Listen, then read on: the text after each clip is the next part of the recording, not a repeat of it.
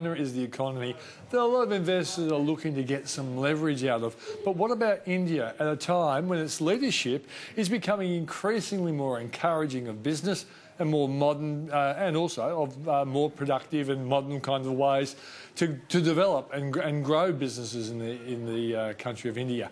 Mugunthan Siva is the Managing Director of India Avenue Investment Management. He joins us in the studio. Hello, Mugunthan. Hi, Peter. Good to see you. Likewise. Um, Tell us about the business itself. So the business's origins way back to 2005 right. when I was working for ING Investment Management in Australia. Yeah. And they were doing a pilot test and discovered that India might be a good market to develop a business. Mm. They asked me to go over there as part of the startup team and set up uh, a, a, business for them. Mm. And as part of living and moving my family over to Mumbai, I got to understand the market conditions very well. Mm. And then when I came back to Australia, I really felt the passion to continue doing something uh, within the Indian markets and bring it to a new market like Australia, mm. build on education, research, content, as well as provide investments. So, why did you call it India Avenue Investment Management? I guess the name it tells the story. I feel in a business, uh, as particularly a startup business, you really need to keep it simple, mm. and uh, in the name tell the story of what you're trying to do. So okay. we went for something simple. Okay, so so to, to define the the actual operation, are we talking about a fund that actually goes looking for Indian businesses that have a real lot of potential that most Australians would never have heard of? Yeah, absolutely. So if you look at India over the since the turn of the uh, century, it's been growing GDP at about seven percent per annum. Mm. Uh, when you look beneath the hood, uh, you'll also find a lot of companies that are largely undiscovered. That uh, you know, the brokers cover only the top 150 stocks in India mm. by market. How many companies are there? 6,000, which is the largest in the world. Mm. 2,000 trade daily.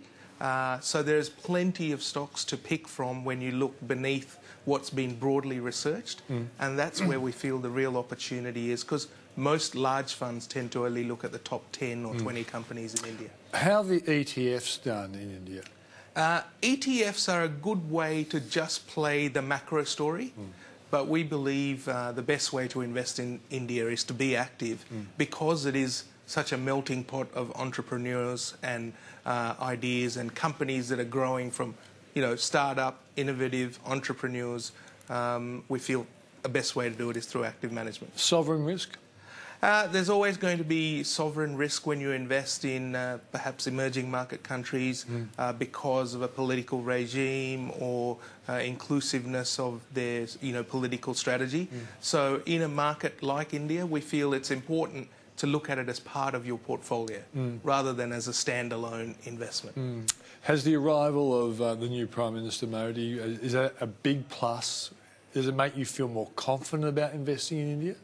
Yeah, I think so. Look, I think one of the issues with India has been, whilst it's a large democracy, mm. that's got a lot of positives. It's got 1.3 billion people, sure, lots of young people, but also means it's very hard to execute on things hmm. because mm. you've got 29 different states all acting in their own way. So traffic congestion is an issue. yes, in Mumbai, I used to live eight kilometres from work, and used to take me an hour to get to work. So uh, it's 20 million people in a city can yeah. create that. But what the Modi government has really focused on is, uh, you know, cleaning up India, and I mean. Uh, not just from a you know uh, level of uh, how dirty it is, but corruption's been an issue. Yeah, corruption, uh, uh, creating a pathway for a lot of its young to you know, look forward to getting employed. There are initiatives like Skill India, Digital India, Make in India, which hopefully will create lots of employment and really allow the middle class effect to take place. Mm. So, how many companies are you holding in your fund? Uh, today we have 45 companies. Mm. So, whilst there are a lot of listed companies, uh, the advantage of holding an active fund is uh, we want to really own those companies that are growing faster than the market mm. that you're not paying an excessive valuation for. Mm.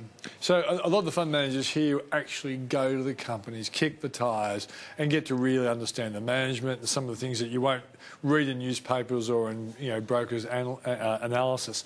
Do you do the same thing when it comes to these Indian companies? Yeah. So we felt the best way to structure a business like this is to have an office in Mumbai. Mm so we can understand the grassroots perspective of what's going on, meet with management, uh, understand the you know the demographics of the country, uh, as well as have an office in Sydney which can really communicate to the investor the virtues of investing in a place like India, and dispel some of the perception issues that most Australians have when they're investing in a foreign country.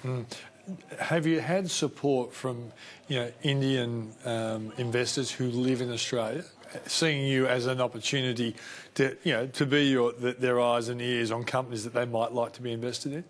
Uh, that's an interesting one. I think for us, the initial target market is Australian investors who don't have any prior understanding of India but are finding it difficult to find growth. Uh, Indian investors have the opportunity to participate themselves. So if you're a foreign uh, foreigner in Australia with an Indian passport, you can buy Indian stocks directly. But an Australian investor cannot. They need to own a license. Right. So we find generally uh, it's the Australian public that are responding well to the story. How much uh, have you got under management at this point in time? Uh, today, the fund is still in its first year, so we have just under nine million. Um, so it's a you know it's a real uh, startup story from building the story and uh, talking to several groups. How sensitive is the Indian market to what goes on outside? You know, is it is, is it Wall Street reactive or can it be completely contrarian? I think any market responds uh, in a negative environment to whatever Wall Street does. So there's elements of high correlation when things are looking bad. But India's correlation, for example, to Australia is only about 0.3, which is quite low. And the reason behind that is, uh, if you think about it, it's an economy that has an inverse uh, impact to Australia. Commodity prices rise. India um, is um, impacted because oil prices are one of the biggest import. So actually, it's a good diversifier to economies that have a lot of commodity influence. Uh, so Norway, Canada, they've all been large investors in India over a substantial period of time. Australia's a bit of a laggard. Have you looked at a company called Adani?